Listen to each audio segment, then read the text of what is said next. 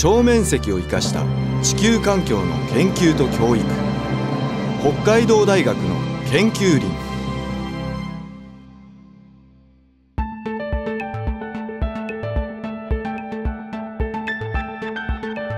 北海道大学の研究林は研究教育施設としては世界最大規模の広さを誇っています。その面積はおよそ7万ヘクタールもあり東京23区よりも広いのです。とにかく広いんです。超面積って言っています。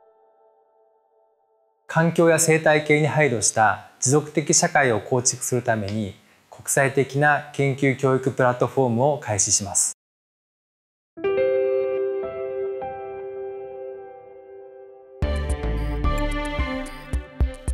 広大な土地には豊富な研究対象があります。土壌河川湿原そしてそこに住む多様な生き物たち。さまざまなアプローチの研究を可能にする観測設備や実験装置を充実させています。また各地域の研究林には研究や教育をサポートするスタッフがいます。長期滞在もできる宿泊施設を完備しています。北海道大学ではこの研究林を100年以上もの間大切に管理研究してきました。そのため膨大な観測データが蓄積されています。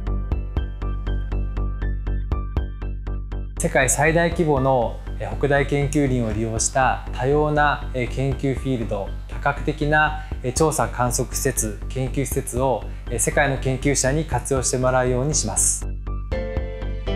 世界最大規模超面積ならではの多角的な観測研究。大規模な野外実験。北海道大学の研究林を含めた世界各地の森林の比較研究。そして地球環境の保全に貢献する研究者を増やすために多くの大学や研究グループの教育に活用してほしいと考えています。研究林の国際拠点化を進め世界の研究者による多様な研究教育利用を推進します。